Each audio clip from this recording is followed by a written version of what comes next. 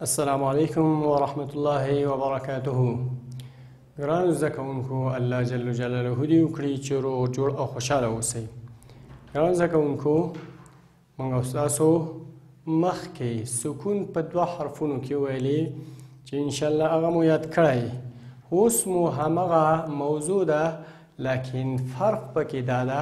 چې دلته په دوا درې سلور حرفو کې سکون وایو د سکون لپاره لن تعریف دا لرو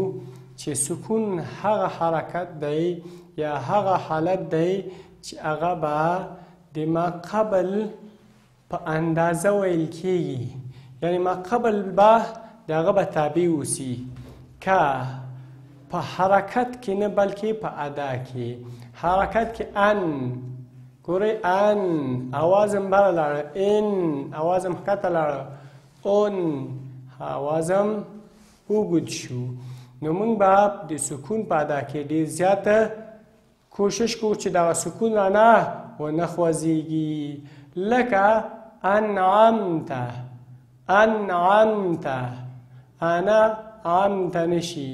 لکه نور داسې ډیر زیات حروف دي که موږ هغه ته حرکت وخوځوو سکون وخوځوو حرکت ورکو نو معنا به تغیره شي راځو ګران زده کوونکو مضمون مو قران کریم دی څه شی دی قران کریم چې قران کریم کې موږ تاسو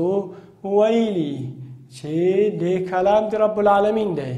کلام د رب العالمین د بشر د هدایت لپاره غلي موضوع مو سکون په دوا درې سلور حروفو کې دا درس مو ګران زکونکو کم درس دا درس ګران زکونکو زمنګ استادو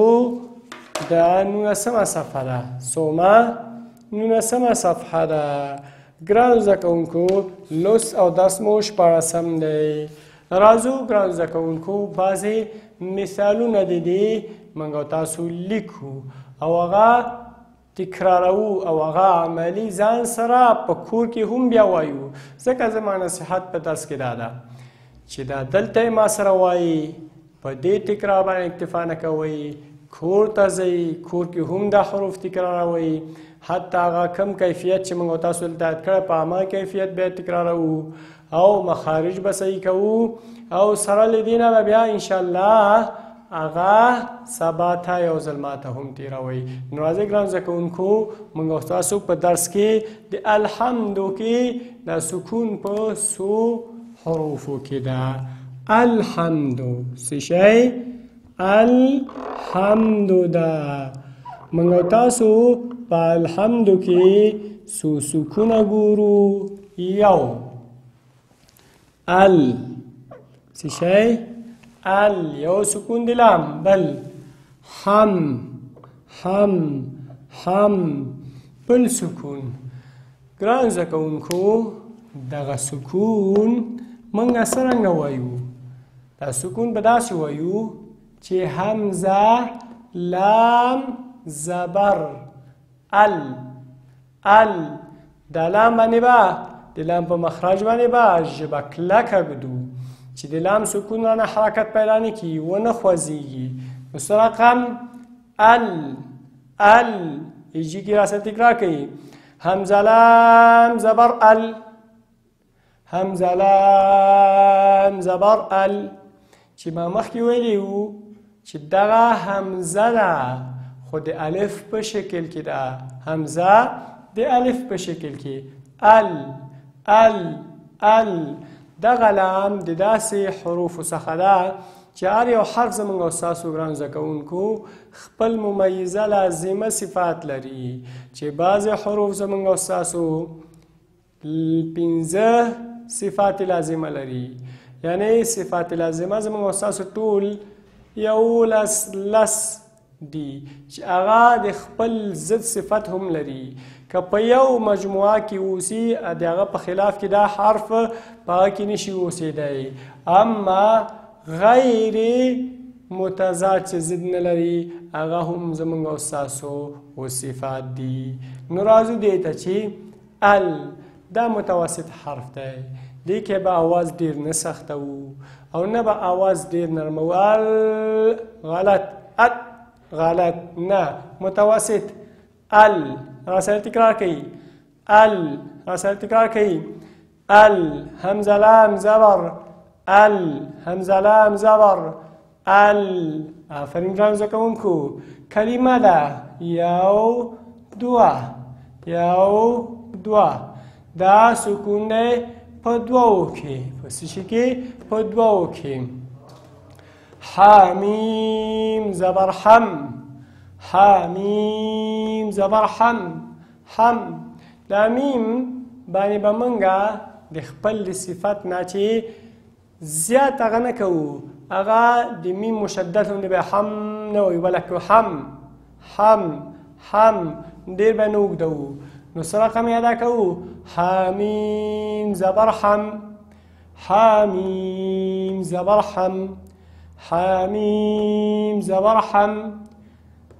دلته هم سکون ده لکن دا سکون د دې سکون سره فرق لري دلته غنه دلته غنه نشته دلته غنه دلته غنه نشته او دالته پیخ ورکوو نو سره رقم وایو دال پیش دو دال پیش دو چې دال مو سخت دی د دې ترکیب ته یو ځل بیا وښیي همزه لام ح میم دال سو حروف دی یو دوا درې سلور پنځه حروف دي دې پنځه حروفو کې هر یو حرف د خپل ممیز صفت لري چې همزه سخته ده چه ده سخته او همدارنګه د کم حروف څخه دا د جهر اواز به هم پی معلوم اوسی همدارنګه د حمزه چې وایو سخت لام په متوسط انداز سره اواز مو به معلوم اوسی او اواز مو نه سخت او نه بند ح همس او همس څه شي ته وایي نفس ته نفس مو پې جاري اواز مو پې جاري خو اواز ته مو په د سکون په حالت کې حرکت پیدا نه کی لکه بعضې قاري صاحبان چې کله اذان کوي حی الصلاح حي على الفلاح ح صلاح ت دا هي تم اور کوي في کې هم في نوروس لام لام نوروس الف الف نوروس ح د دې حرکت ورکړي دا حرکت غلط ده نو دلته به ح داسې وایو میم میم باندې منګه غنه او د د شوندو د وچو حصې څخه په اسانۍ ادا کوو دال باندې شیا کوو پیخه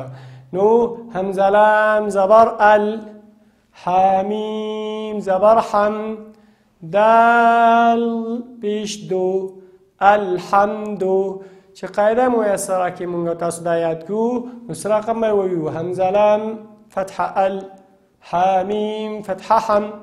دال ضمد الحمد راځو ګران زده کوونکو په کتاب کې زموږ او ستاسو د قاف مثال ورکړی لکن دغه نه مخکې دا زه غواړم چې جدا جدا درته ولیکم تر څو تاسو وپېژنئ ګورئ جدا لیکنې سره قم دي دا الف یا همزه د الف په شکل دلته لام سرقم حرکت ده زور کم زور لام د سکون سشی شو ال سشی ال هغه نه بعد ګران زکونکو د ح حرکت ترازو ها سشه لري زور ها زور میم سکون میم شلری سکون لري دال جدا شلری پیخ لري ګران زکونکو نو موږ تاسو په جدا کې ګورو ال ال ال حم حم حم دو سو حروف منګه ګورو چې سکون لري دوه یو دوه سو حروف لرو چې هغه حرکت لري درې الف ح دال الف همزه د الف په شکل ح دال الحمد الحمد چې موږ تاسو یې د دې لپاره چې خو پیژنو داسې نو ته ولیکه لکن څه شی ده الحمد الحمد اور پسې ګران زده کوونکو موږ تاسو د قل چې په ټولنه کې موږ تاسو ورته چار قل وایو د هغه یو مثال هم لیکم هغه لومړی مثالي کمې لومړی مثالي اچره قل قاف لام پیش قل چې دا قاف دا حروف څخه ده چې ډک ادا کیږي کوم حروف څخه چې ډک ادا کیږي دا د لام سره یو ځای کو چې کیږي قل چې کیږي قل قاف لام پیش قل